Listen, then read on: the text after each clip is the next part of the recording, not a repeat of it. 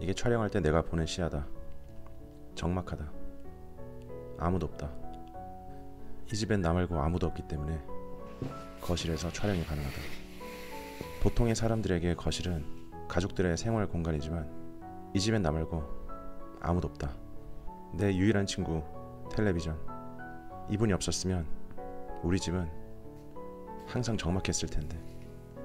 고맙다. 내가 가장 좋아하는 사운드바.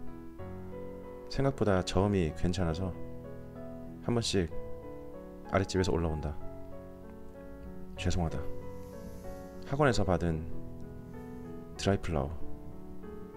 예쁘다. 감사하다. 감성의 파고다. 파고다 감성. 여러분 파고다로 오세요.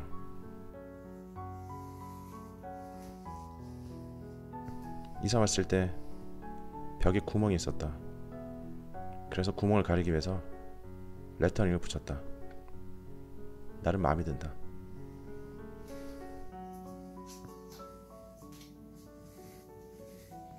한때 인형 뽑기에 굉장히 미쳤었다. 엄청 많이 뽑았는데 친구들이 놀러 올 때마다 하나씩 들고 간다. 이제 못생긴 애들밖에 없다.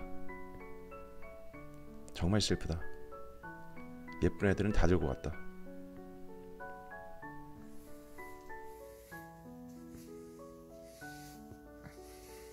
창문을 열어보자.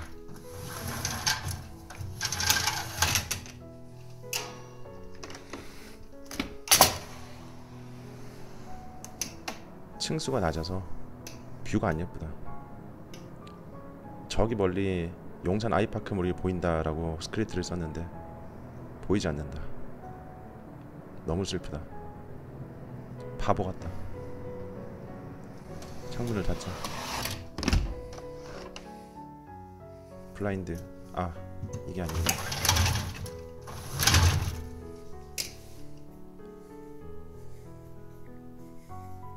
원래 중앙에 있어야 될 소파가 유튜브 때문에 구석으로 밀려났다. 그놈의 유튜브가 뭐라고? 이제 소파에 앉으려면 구석으로 가야 한다.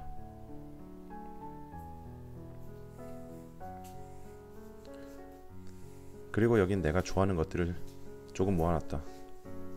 그 중에서 유벤투스 피규어 그리고 커리 액자를 제일 좋아한다.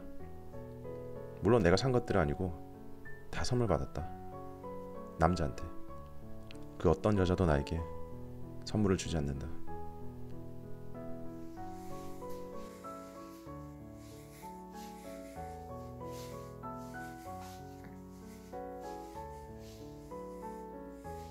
내가 촬영하는 공간. 크로마키 촬영이 많아서 벽에 크로마키 천을 붙여놨다. 보통의 가정이라면 등짝 스매싱 각이겠지만 이 집엔 나에게 등짝을 때릴 엄마도 아내도 없다. 내가 사랑하는 공간 주방. 내가 좋아하는 얼음 정수기 냉장고. 살 때 다들 말렸었다. 냉장고는 냉장고라고. 근데 지금 생각해보면 내가 가장 잘 산 물건 중에 하나다.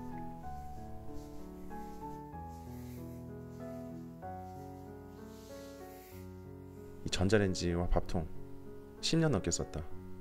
고장 나면 바꿔야지 하고 있는데 절대 고장이 나지 않는다. 너무 슬프다. 아침마다 챙겨 먹는 것들이다. 점점 챙겨 먹는 것들의 개수가 늘어난다.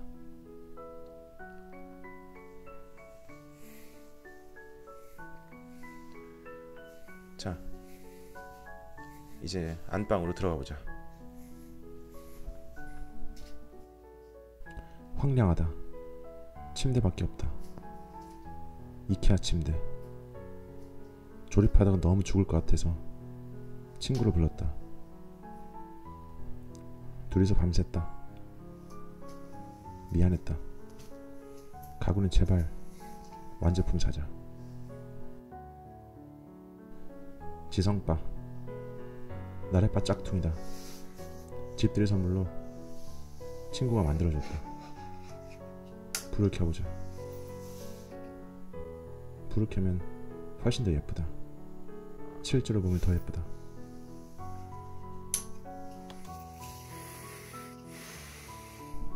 그 옆에는 독일제 벤타 에어워셔.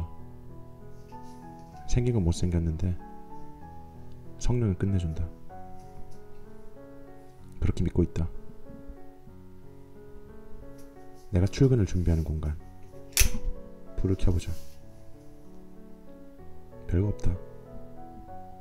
화장품. 별로 많은 게 필요하지 않다. 남자 혼자 사는 집이 다 똑같지 뭐.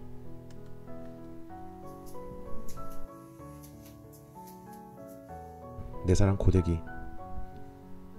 고데기가 잘 안 되면 그날 수업이 잘 안 된다. 그 다음 안방 화장실.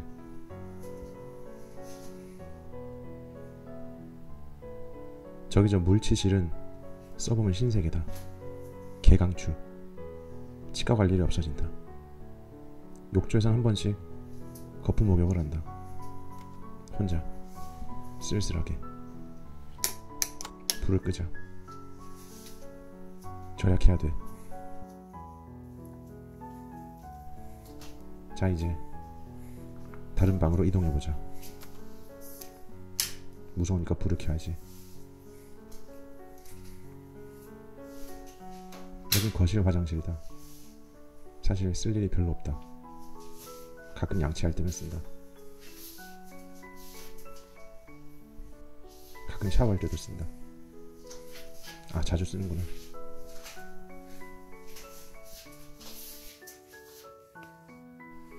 그리고 이것도 내 칫솔이다.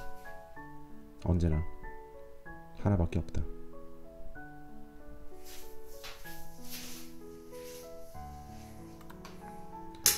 불은 꺼야지. 여긴 제일 작은 방이다. 처음에는 마사지 체어도 갖다 놓고 힐링의 공간으로 꾸미고자 했다. 현실은 어떨까?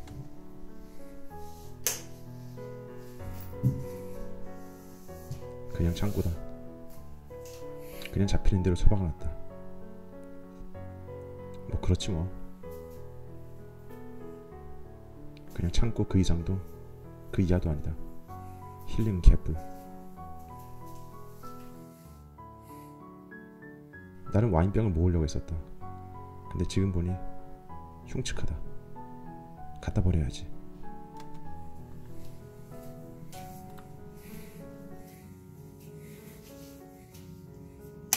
껴야 돼.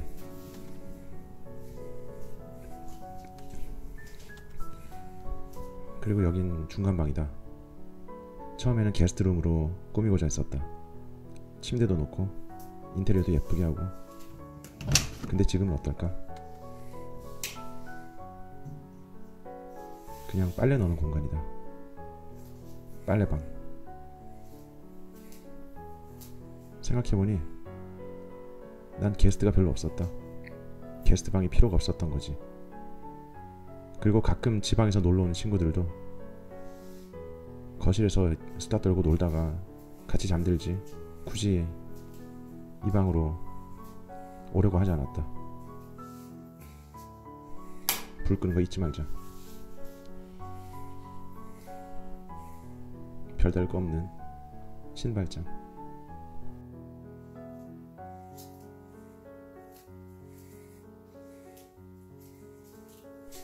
그리고 다시 내 공간으로 항상 그 자리에 나는 서울에 혼자 사는 30대 독신 토익 강사다.